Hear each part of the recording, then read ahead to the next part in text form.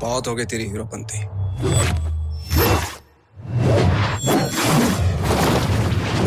पहले भी बोला था, सबको आती नहीं, मेरी जाती नहीं।